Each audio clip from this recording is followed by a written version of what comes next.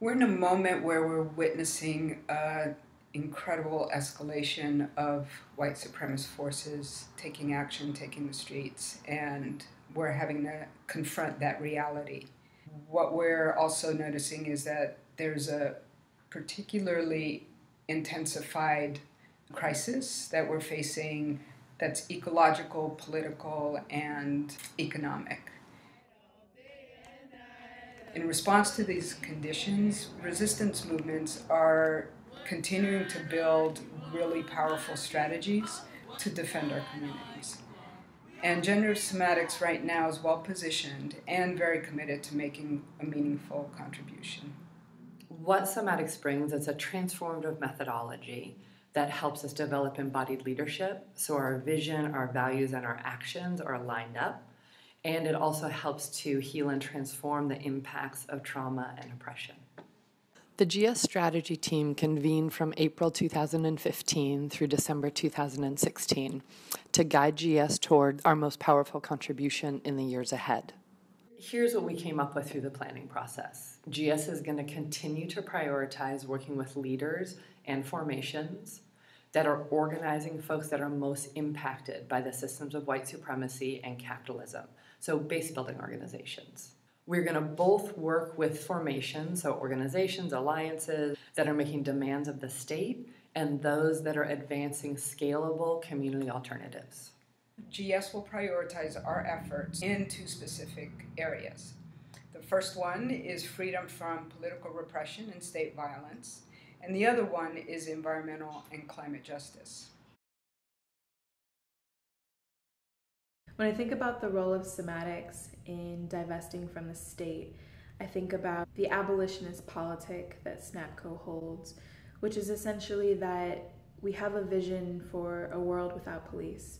We have a vision where trans and queer people of color are able to thrive in their full body autonomy, where people can be their fullest selves.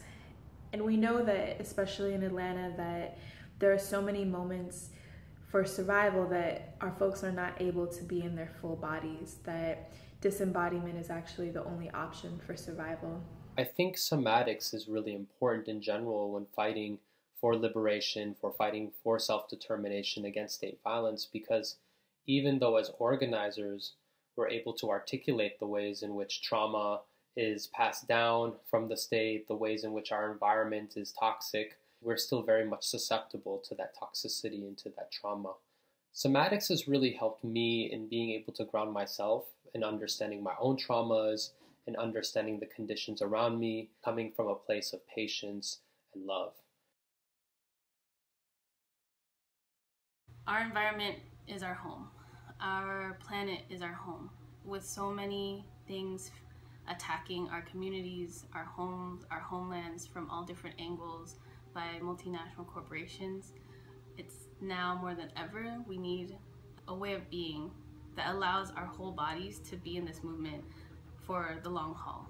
The ways that our communities are being attacked through displacement, through homelessness, through healthcare reforms, the way that lead poisoning is coming into our water streams, refinery air pollution is clogging our lungs in communities like Richmond it is affecting our bodies and our brains and our hearts and our ability to continue living full lives, full beings.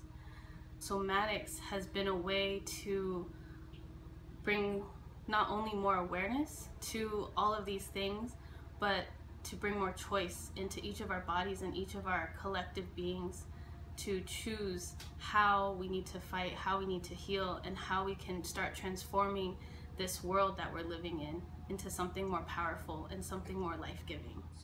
We want to focus our attention and efforts on formations in these two focus areas so that they can continue to build power and move toward freedom and life affirming vision. What we're committed to is to focus all our programs to engage leaders and formations who work in our strategic priority areas organize GS practitioners to serve organizers and activists who work in our strategic priority areas, and increase accessibility for poor and working class people of color.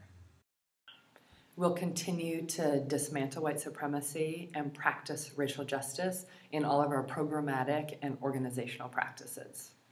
We'll expand non staff leadership bodies to continue to democratize our organization. Grow our programs and organization through teacher development and transformative fundraising so that we can continue to meet the growing call for our work. Thank you for all of the ways that you help make our work possible. We can only do it with you. If you have any questions or any ideas about our strategic priorities, we welcome them, so please contact us. And make a donation today. Join us. Thank you. Thank you. This new